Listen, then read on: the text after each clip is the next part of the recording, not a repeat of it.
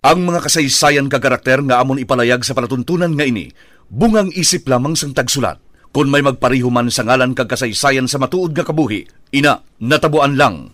Isa lang ang amon katuyuan, nga kamo mahatagan lang sang kalingawan. Timbangan sang katarungan. Ang timbangan sang katarungan, simbolo sang kamatuuran, alalangay, kag patas nga pagdumala sang kasuguan. Wala sang korupsyon, wala sang makawat, wala sang indi matarong nga buhat, kag wala sang ginapaboran. Timbangan sang katarungan sa kasaysayan. Animal ka, Jack. Gingapos mo ko ni sa nagatindong nga cross. Animal ka, Jack Balan!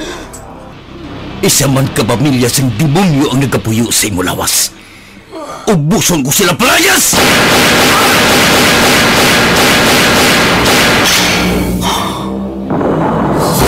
Kapoy na ako sa kamong. Luya ko nang maglinog ang kabuhi ko. Pero mintras may pareho sa mga demonyo, hindi ako maglinog.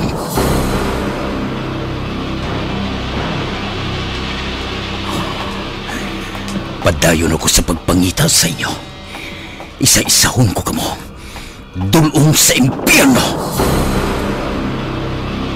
Jack Balaan, Birador, kaaway bala siya sa kasuguan o kung baganihan. Jack Balaan, Birador, isa naman kaproduksyon sang MBC, DYEZ, sa Bacolod, Aksyon Radio.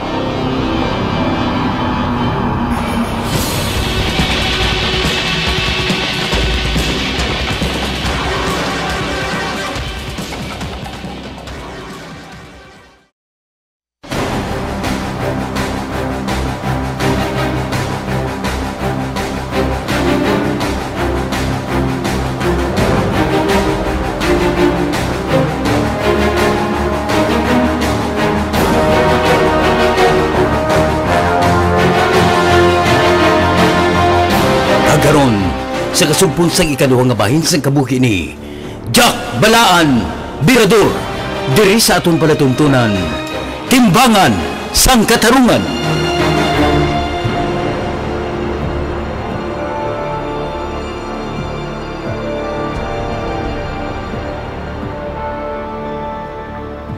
Buwas ng hearing mo pinig. Kag sulo kay Attorney Diana. Basi kung may nga ka, boss, magkagwa ka na. Salamat ka, Jack. ah. Salamat gid. Eh, sige lang nga kay kung may makakita ko pulupundo na ko bayaran ko ikaw sang gindisponer mo nga pangariglo ah. Babae na lang nga na ina. Hindi na pagpaligbi na. Ang problema mo sa imo kabataan ang una binig. Jack, Aho gali. Kung wala ka pa sang uh, mauburahan pagwa mo, kunta ka lang si Nunoy ng amigo ko. Basi ko makabulig siya sa imo. ah, Ari nga number binig ko. Kung makaistorya ka mo, hambala siyang uh, nagsiling akong mabuligan kanina. oh, sige Jack, sige Jack. Eh, pero damo ko yung panangitanan sa gwa, Jack. Damo ko na balaan nga obra. Hindi kami ang magutman sa pamilya ko. Ati mayo magaling. Pero sige lang ha. Basi kung malang-alang ka, buligan ka nila ni Nunoy. At salamat Jack. ah. Bah, Binig ang hambal ko sa imo ha. Inigi pagalimti. Nagwa ka dire tungkol sa kabataan mo. Hindi tungod sa gamo. Jack, ah, makasalig ka. Mabalaan ko gani nga naghimo ka sang malaing binig. Malaing ginambuot ko sa imo. Ay, hindi ko pagkalimtan ni na Jack. ah. Salamat gid. Halong ka gid ha. 20 mil ang ariglo. 30 mil ang kwarta dira sa personel. Kung makaluyan nga makagwa ka buwas, dala ang gis para may magamit kang kwarta pagpauli mo sa inyo balay binig. Jack, Jack, salamat kay Jack. Salamat gid. Walang gitupong sa kayo nga tao, Jack. Nanayawon ka Jack, Jack Malaan.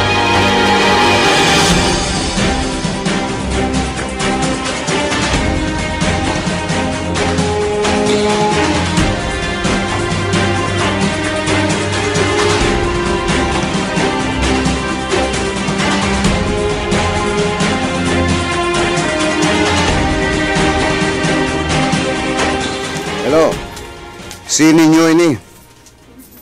Uy! Kusa! Kumusta da? Si ninyo ni. Layan ako. Mm mm. Mga anom ka bulan ka lang kagawa sa akon. Nauna ka lang jutay. Ha? Uti? Ah, oo. Uuwi ako pa. May kontak ko kay Mr. Lee. Uh, kapula gani kami makasugulanon eh. Ano? Bah, mahal ba? Uy, kapalo ka naman. Ako yung right hand sa sulod. Siyempre. Damo na. Ina ang rason ko nga nga gintinguaan ko gid nga makontak ka ko sa. Oo. Ah, o gani ako yung tugyanan niya sa Iloilo. Ah, mm, wala problema, ha? Okay, kuna mo na. Okay, gaanta ka. Tagaanta ka da. Ah, siyempre barato eh, kumpara sa ginakuhaan mo. Barato ah. Wala niya problema. Ah. Pero kusa ha, ang bayaran na updated dapat. Okay man na? Ah, Siyempre eh. Budlay man si Busing. Stricto niya kung mara na sa bayaranay. Way gani blima, kung bahala. Basta pag-abot sa items, bayaranay dayon, way gina. Hindi lang bala pagpalpaka. Kaya kung manabat yan si kay busing kung mapalpak ang transaksyon. Ah, good luck kung hindi mabayaran ang items siya. Siyempre grupo hay. Ganin si Diana lang tabla. Buligay lang tabla. Ako eh, buli ko si mo. Pero dapat, tungdan mo man ang obligasyon mo. Siyempre pare, good nga smooth man pala nga itong transaksyon. Hmm. Tindo ka budlay giguro kay daw kadelikado magpadala subong pare. Abot na sa mga parak ang mga padala-padala ngayon na. Ah, ipadulong ko da sa imo ako bala. Basta wala tala ko da. Pilagi ka bultong mapaubos mo ako. Buti may, may dako-dako magli eh. Pulo ka bultong ba na? Okay, gamay man. Dako-dako magli transaksyon mo, part. Oh, tanasin mo. Down lang ah. Bisan one port lang sa kabugusan sa bili, okay na na. After one week, full paid mo nga bayaran ng kulang. Okay, deal. Oo, sige, sige. Next week, ha? Okay. Yata ko na ang order mo, ah. Ah, sige, sige. Aring number ko. Mag-uning number ko. Pabalala ko. Para nga hindi ba auto na communication ta. Siyempre mo man ko eh. I-update lagi ka. Okay. Okay, okay, okay. Mm-hmm. Oo, salamat. Okay, salamat good partner. Kung may chimpo, kagaling kita, ito bala. Alam mo pati sa istoryan, may mga uyab pa. Oo! Ako uyab. Tapos, istoryahan talis mayo. Unahan tayo yung transaksyon tako sa. Okay? Okay, okay, no problems. Ah, sige, bye, bye, bye. Ayos na, masyong. Oh, bilib ko boss, abas ko kagijagali boss. Kada siglan si mo yung mangita transaksyon, oh. Upod ko man to sumunte, ah. Ah, Kung nalay sa galing sa akong binulan, kag uh, among pagwa ko. Taga pakulod to yan. agilay. Mm. Mm. Tuntod ako manggaling konsumo ya. Pulo man kabultong mapaubos ka dahil semana. Wow! Dako na nagali, boss. Mahalang kuha niya galing. May nagahinti pa kay iban eh. Ano pa, may patong. Hindi pa rin sa ako niyang odrektan eh.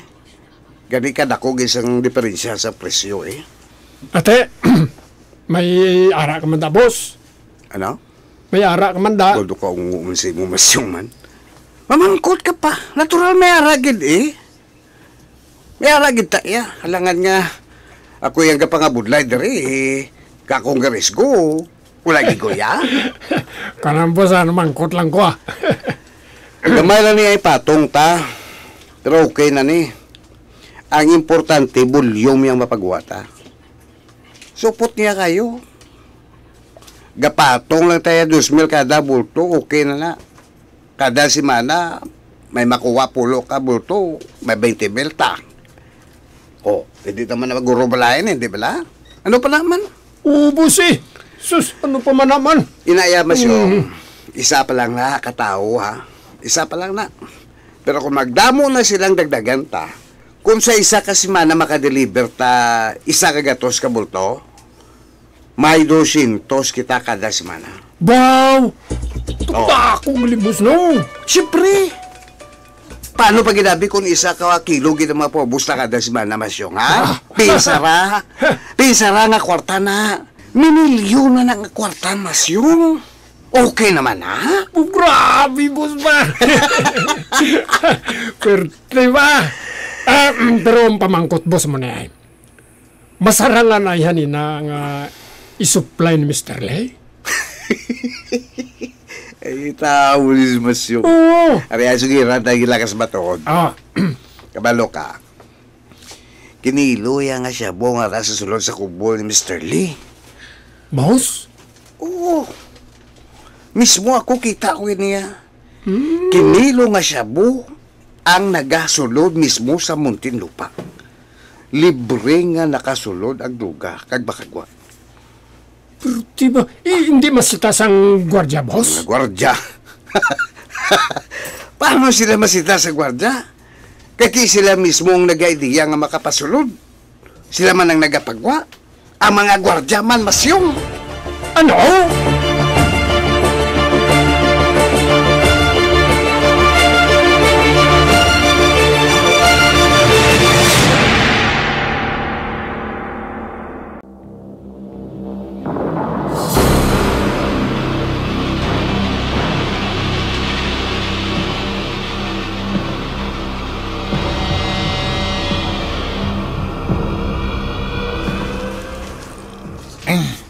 Do hindi mo maintindihan kung nag-heavy o kung nagkakadlaw si Binig samtang nagapagwadre si Prisuan Jack, no? Nagasamo eh. Kalipay ka kasubo. Nalipay gid siya nga makagwa na siya. Kaya ti, makaupo din niyang iya pamilya. Why naman siya asawa? Nagupol naman to sa, sa ibang nga lalaki. Ah, ti ara pa man ang mga kabataan eh. Gani, nalipay ko to sa Jack. Kiti matatapanan niya ang iyang mga bata. Nagamat ang tungadaan wild ko ng mga kabataan niya. Amo gani, Ay, may man kinakakita man sa isang kwarta nga ginariglo niya si Yaya Complainant Jack. amo gani bugoy. Tin siya nakakuha sa kwarta man. Do kapigado man sa pamilya ni Binig. Do aluson ba gani di makadalaw ang iyong mga utod. Kada kadto gani diri, way mandala kay Binig. Tin siya nakakuha sa kwarta man. Kula mo siyang ipamangkot aw?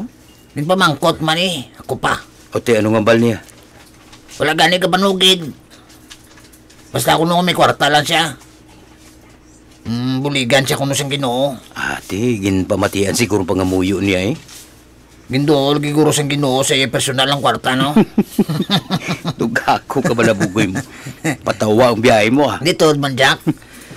Kung ginpamatian sa mahal nga Diyos ang iya nga pangamuyo, nga buligan siya nga makagwadre, posible nga may gingamit nga tao ang ginoo para makabuli kay Binik. Kay Binik, kay Binig. Ate O, ba di si... Ti, way man kuno sa may nakita nga tao nga nagdalaw di siya nga nagkanyag bulig. Basta lang kuno si nagwa nga wala siya dalaw. Ay, ti ambot. Himali mo. Paghiring niya, may... Nagtabo? ah, nagtabo to sa iya. Oo, gali no. Basi tuod no. Kag-amo ginayaguro. May pa si Binig. Nakaluyan gid siya. Pero to, hindi ko bala maributay kung sino nagbulig sa iya Jack mo. O tingagi na problemahan mo gina kung sino nagbulig sa iya. Hmm? Ti kay mga ayaw mangkutan ni bulig. Hmm.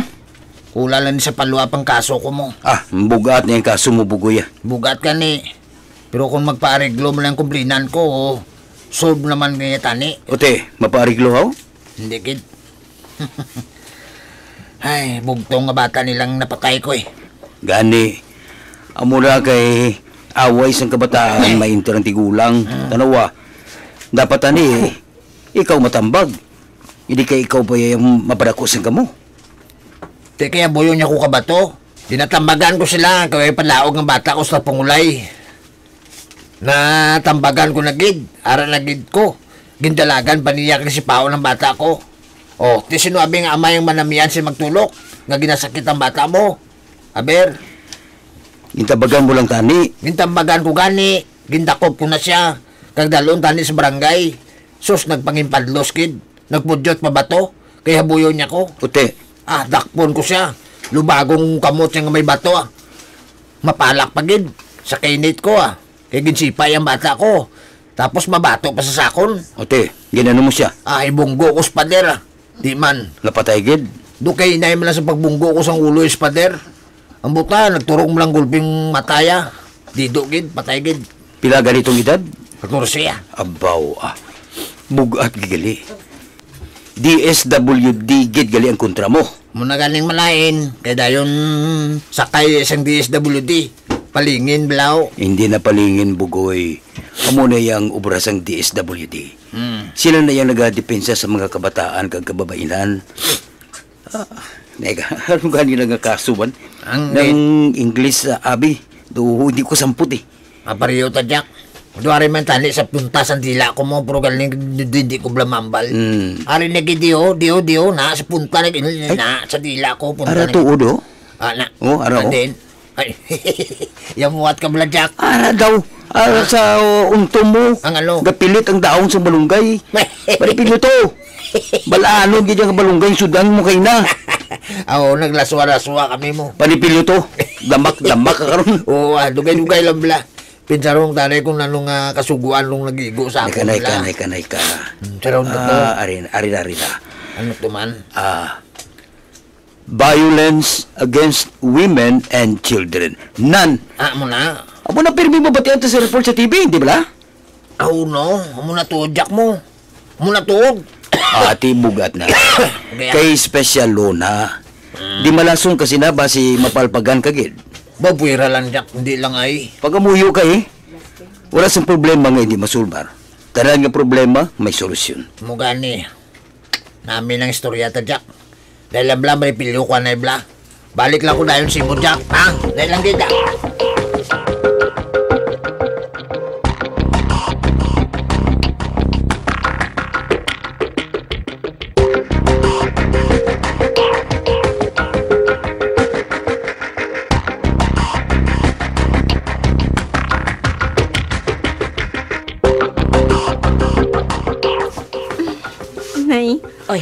ginbuligan niyang yaupod nga makagwa sa prisuhan Diana. Ho, nay.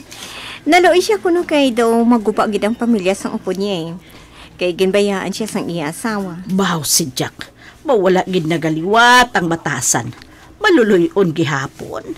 Amo na, amo nang awala gid sa ginapabahian sa Ginoo. Amo gani, nay.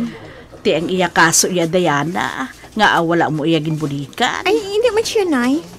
Makapila ko na siya ang bala ni. Ay ti babae lang siya. Base kon ano man yang ginaplano ni Jack. Hulata nga siya ang magdesisyon nga buligan mo siya. Amo gani, nay. Hindi man ko makamatumato kuha sang papilis niya sa iya abogado kay basi maaki siya. Hindi nga daan siya magpagsugot. Ay, amo gani. Ah, babae lang siya. Pasi kung malipayon siya iya sa sulod sang prisuhan. Amo naman ba niya sa ako, nay? Maano man ti siya kuno sa kuha. At ah, sige lang. Kaya kung makadalaw ako sa iya, istoryahon ko siya. Ay, ho, anay. Istorya pala siya. Kulang lang siguro si Jack sang paathag. Damo pa siya kwarta na, hindi ba? Ay, oo eh. Ari di sa akon ang tanan nila nga kwarta ni Villa. Ay, milyon ang kwarta ni Jack Diana. Ara lang sa bangko. Ginpatago ko. Kung makagwa siya sa prisuhan, kag magsugod sa bag-o nga kabuhi diri sa gwa, hindi siya mapudlayan kay milyonaryo pa si Jack Balaan.